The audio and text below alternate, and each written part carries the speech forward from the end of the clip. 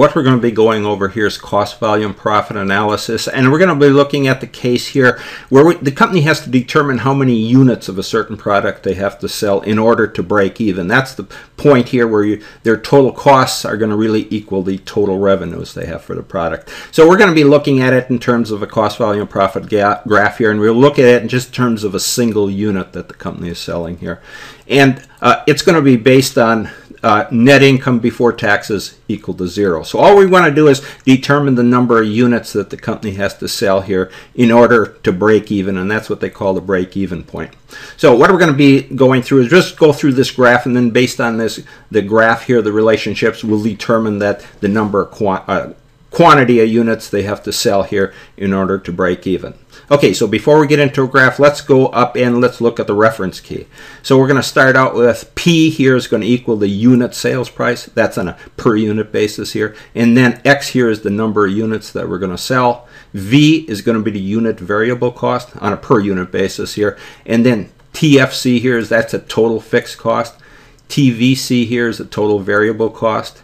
And then TR equals S here, the sales. That's our total revenue or sales here. TC, total cost, that'd be the fixed and variable cost. And then TCM is our total contribution margin. Okay, so starting with our CP uh, cost volume profit graph here. So what we're going to have along our x-axis, those are going to be the number of units here that the company's going to have to sell. So that's what we're going to have to determine. How many units here? And it, units is uh, X here. X equals the number of units or the quantity that we're going to sell. So the company has to determine how many units they have to sell here to break even here. And that, so on our x-axis, we got our number of units. Along our y-axis here, that's our dollars, our revenues and our cost and so forth. Okay, so what the two lines that we're going to be dealing with here. First, we're going to have our revenues line here. That's our total revenues.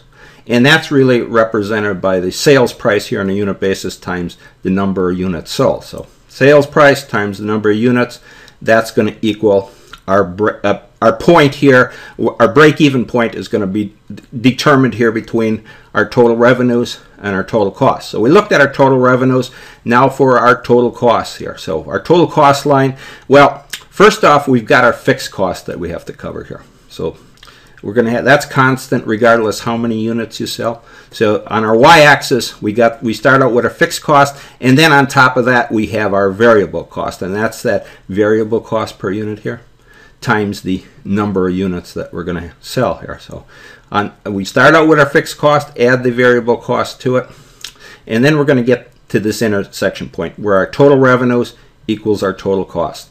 And then what else we have to define here on our graph? Well, we got our total fixed cost is shown here. Total revenues is shown up. This is the green line here, total revenues. That's the sales price times the number of units here. And our total cost, that's that total total variable cost here. That total cost, that blue line here, the total variable cost plus the total fixed cost equals our total cost. So our variable cost, again, was that variable unit cost times the number of units here. And then the other thing we have here is a total contribution margin. And that's really the difference between our total revenues and our total variable cost. Okay, so that's our model that we're, this is the break-even point that we have to determine, where our total revenues intersects with our total cost here. Total revenues here was price, a sales price per unit times the number of units we sell. All right, so we're going to be solving for our x here. All right, so let's go up and let's look at our simple equation here. So CPV, cost volume profit, the basic concept is this is where our total revenues equals our total cost plus the profit. And in our case here, we're going to be looking at a profit. We're going to set that equal to zero. But that's the basic formula we use here for cost volume profit analysis. So what we're going to do here, we're going to have our total revenues are going to equal our total cost plus our net income before taxes.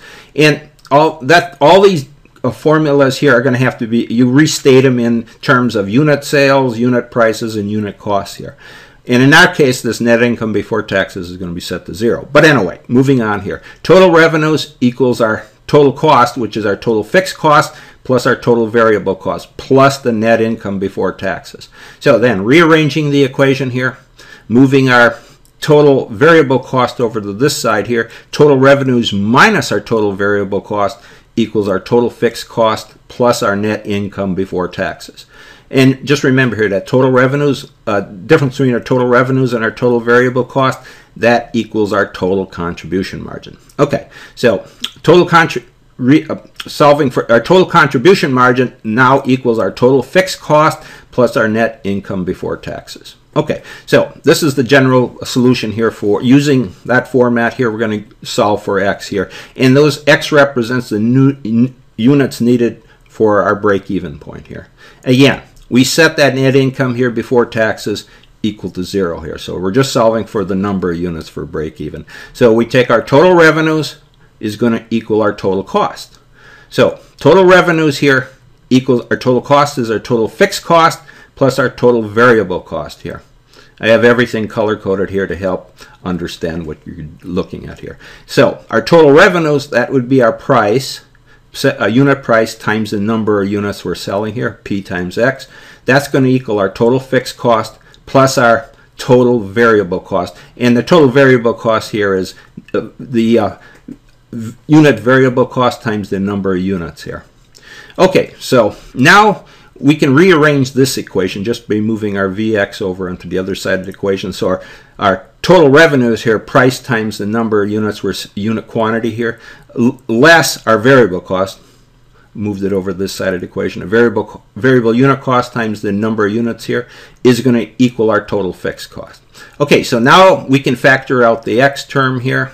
That's what we're looking for. So our price, sales price, less our variable unit cost here, that difference times the number of units we have to sell is going to equal our total fixed cost here. Okay, so again, this total contribution margin here, that was our price less our variable cost times number of units here, again, equals our total fixed cost. All right, just to point that out here. So we could just take and we can just solve for this equation right here. We just solve for x based on our price less our variable cost equals our total fixed cost. Okay, so what we would do is let's just move, divide both sides here by p minus v here. So I've done that here.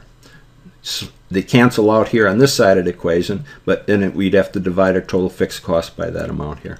So x here, number of units that we have to sell equals our total fixed cost here divided by the our contribution margin here, our price times our uh, variable our uh, price, looking at our variable cost on a per unit basis. So just divide those out here. X equals our total fixed cost divided by price minus our variable cost on a per unit basis. So that is just solving for X. So the point is here, you can go through and just plug to use this generalized solution here you can go in and put in your different terms here your different costs and uh, different uh, sales prices costs variable costs to determine your total revenues and your total cost and you're we're solving just for x here. Now we were able, we solved just for the quantity that we had to produce here based on the uh, uh net income before taxes we set that equal to zero Okay, so that's our generalized solution. And let's go down here and let's look at it, understand our income statement here and relate it to this graph that we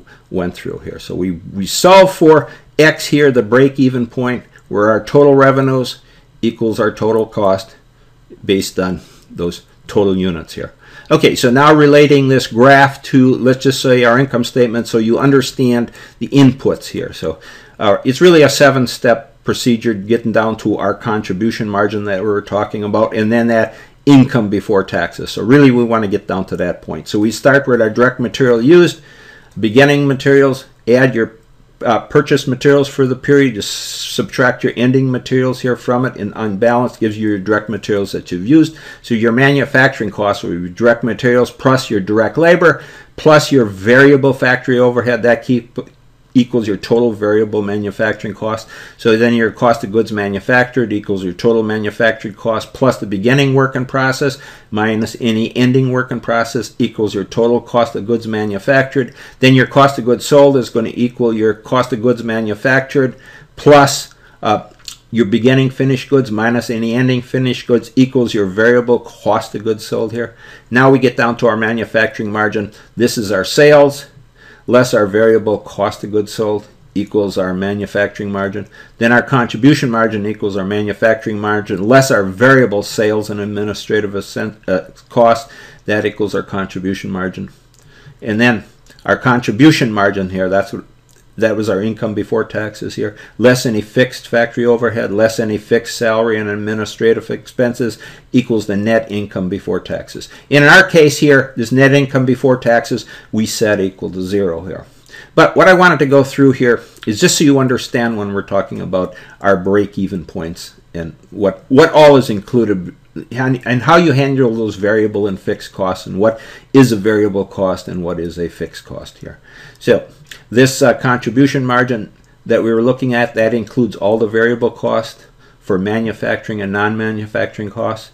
And then when we got down to our net income here before taxes, which we set equal to zero in this case, this is where we have to deduct all our fixed costs here, manufacturing and non-manufacturing. I just wanted to expand into this income statement here so you understood uh, what type of cost we're looking at here when you're looking at your total revenues here versus your total costs here. Okay, so that that'll go through our generalized solution here for determining our break-even point here.